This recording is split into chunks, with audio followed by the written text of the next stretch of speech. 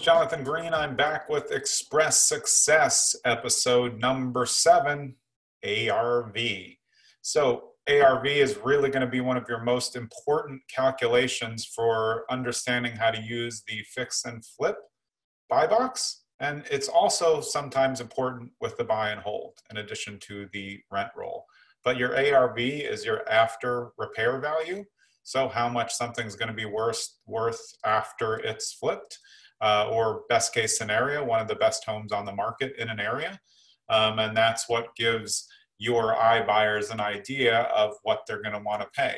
If you've seen a lot of the um, formulas in the buy box, which I went over in episode six, you'll see that it's 70% of ARV, sometimes minus repairs, sometimes not. So if your ARV is 300,000 at 70%, that's 210,000. That's what the iBuyer wants to pay.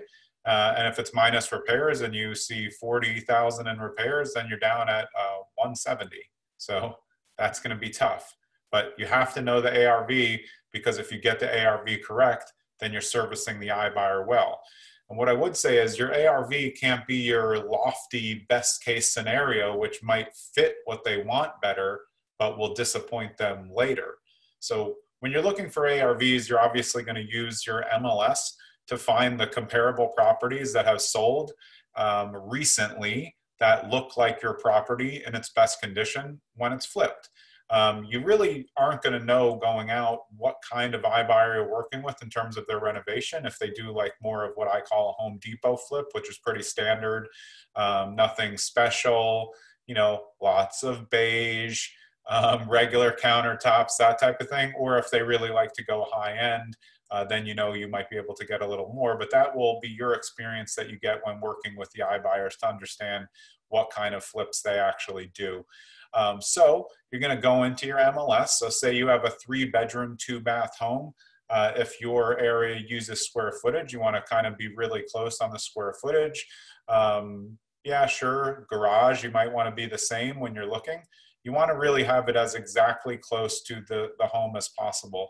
And you don't want to be comparing colonials to split level homes or capes. Those are not comparables and won't help you with your ARV.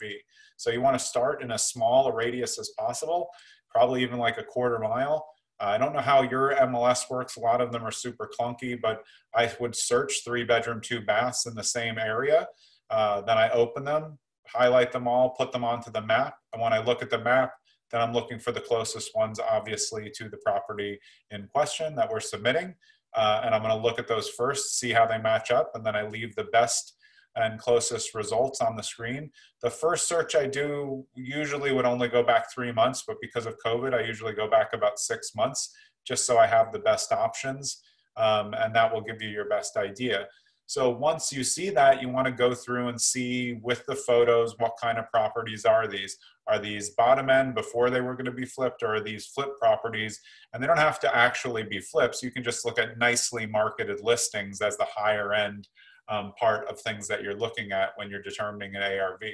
So say you have, you know, three of them. One says maybe 420 it sold, and it was definitely a flip then you saw a nice home that sold for 415 that was just, you know, regular people live there, but it was well done, nothing needed to be upgraded. And then you see, you know, an okay home that sold for 400. So how do you figure out when you have 400, 415 and 420 if you are thinking they're going to do a flip and the 400 was not a flip, now you can kind of discount that one and then you're at 415 and 420.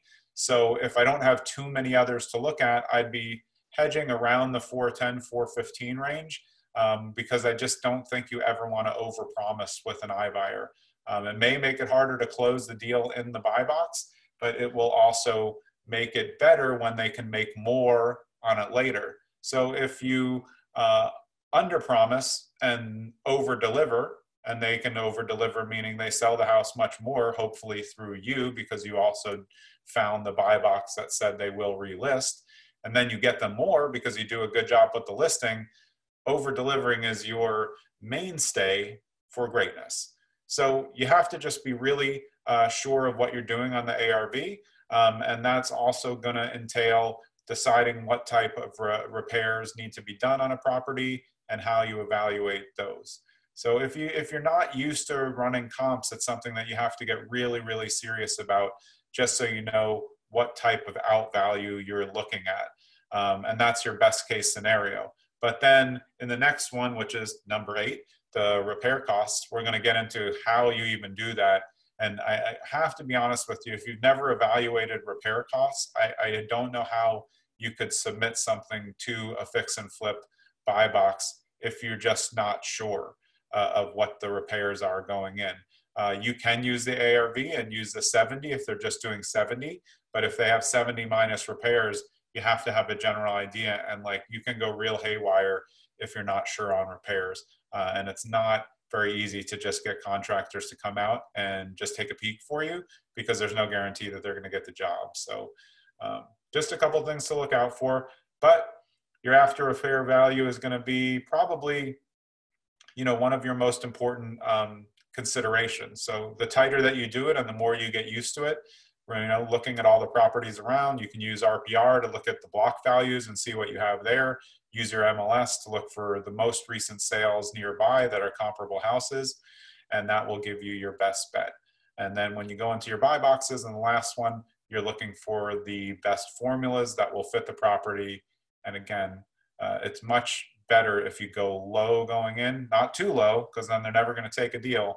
Um, but you really will be well served by overperforming at the end, especially if you get that listing. Thanks a lot. Good to see everybody again.